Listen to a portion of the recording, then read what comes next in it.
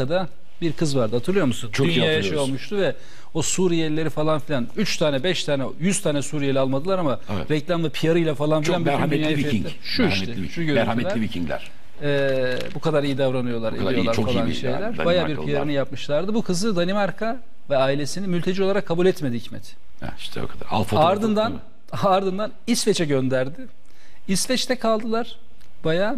İsveç'ten de karar çıktı. Biz de kabul etmiyoruz dediler. Ha.